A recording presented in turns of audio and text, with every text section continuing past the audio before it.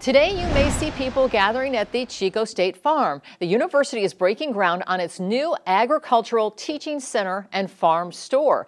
And this is what it's going to look like when it's finished a year from now in the fall of 2025. It will be a 9,000 square foot facility. It will add classrooms, conference rooms, and have space for student clubs and competitions. The $11.5 million project will be paid for with one-time state money and university donations. The groundbreaking starts at 11 a.m. today.